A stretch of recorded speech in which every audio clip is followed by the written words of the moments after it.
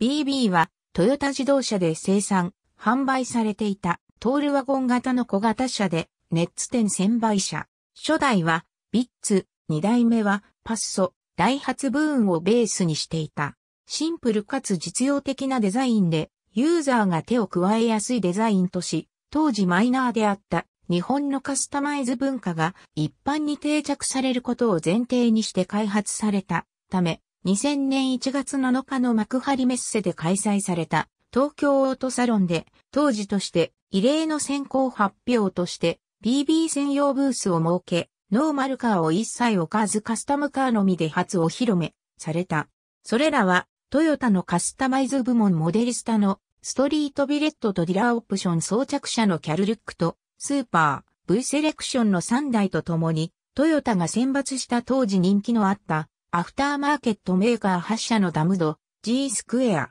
バルド、データシステム、ゼノン、ジアラ、ラッキースター、ケンスタイルからオリジナルエアロパーツを身にまとったドレスアップ、コンプリートカーの合計11台の BB が展示された。なお、アフターマーケットメーカー8社のエアロパーツともども、日本全国のネッツ店で購入し装着することができた。初代ビッツシリーズのファンカーゴとプラットフォームを共有し、エンジンは 1300cc と 1500cc の2種類が設定された。スタイルは箱型のアメリカンなもので、20歳代の男性をターゲットにした車種だが、箱型のボディ形状からなる広い室内や車体前後の見切りの良さなどもあって、幅広い層のドライバーから人気を得て、初期受注は計画の6.5倍の32,500台となった。なお開発にあたっては、ベースの初代ビッツ、ファンカーゴが存在していたこともあり、時代を先取りした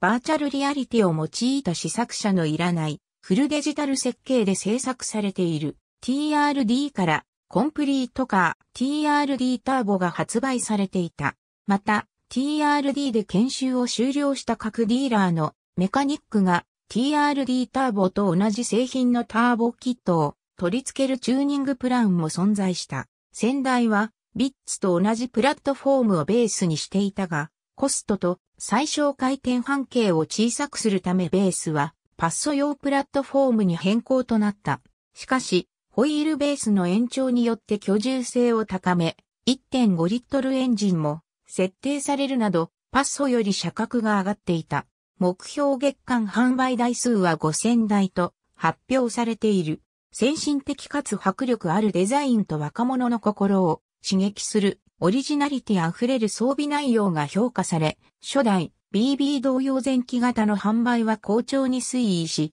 発売から1ヶ月間で月間目標台数5000台の約2.5倍に当たる約1万2500台を受注。初代に引き続き若年層のみならず幅広い年齢層から好評を得た。エクステリアデザインは初代では箱を強調していたが、当時大ヒットとなっていたホンダフィットや2代目日産、キューブに対抗するため、先進性も取り入れうねりを効かせたさらに派手なデザインとなった。フロントグリルには、ネッツ店1000倍車種であることを表す楕円型に N をかたどったエンブレムが付けられており、初代ではバックモニター付車を除き装着されていなかったトヨタの CI エンブレムもリアドアに装着された。リアコンビネーションランプの形状は以前販売されていたウィル VS にも似た形状となっていた。またアウタードアハンドルが初代のフラップ式からグリップ式にリアナンバープレートの位置が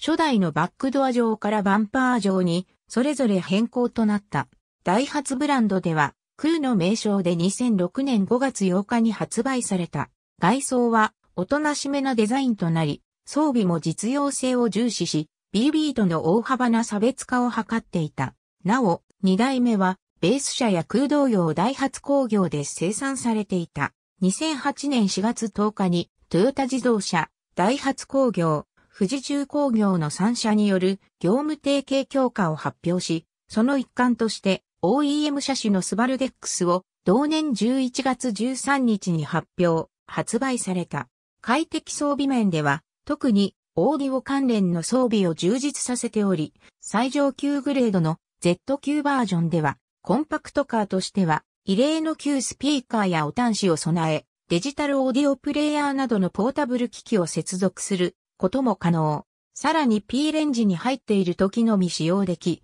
フロントのシートを沈み込ませることにより、外からの視線を遮り、快適な姿勢でくつろぐことのできる、まったりモード機能付けフロントシートを全グレードに設定していた。グレード体系は S、Z の2体制を継続し、X バージョンも初代に引き続き設定されたが、Z には新たに前述の旧バージョンが設定された。エンジンは刷新され、1.3リットル大発製、K3 米型と新開発の大発製1.5リットル3製霊子、米型エンジンが設定された。共に時価 4DOHC16 バルブ。これにより低排出ガス性能が高められ、平成17年基準排出ガス75%低減レベル認定を取得し、2WD 社は平成22年度燃費基準も達成した。北米市場向けのサイオン XB は引き続き2007年まで生産され、日本国外向けカローラセダン、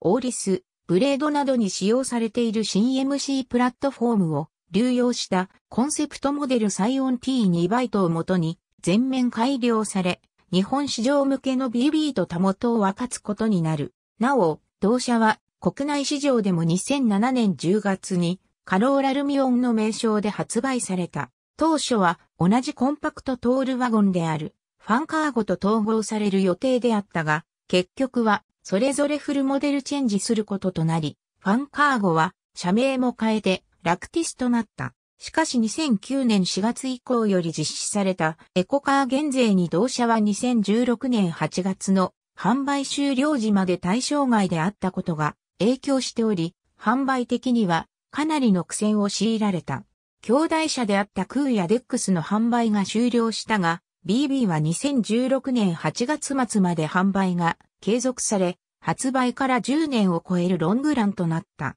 ブラックボックスの頭文字から命名された。なぜ小文字と大文字かという疑問であるが、それは実際の車体が黒ではないことと、子供も大人も楽しめることを意味している。BB は当初からカスタマイズされることを想定していたため、多くのメーカーから BB 用のエアロパーツがラインナップされ、様々な形にカスタマイズされている。最近では初代モデルをベースに全長をストレッチしてリムジン仕様に改造されたモデルまで出現している。ちなみにリムジン仕様は沖縄県の宿泊施設で宿泊客送迎用に使われている。ありがとうございます。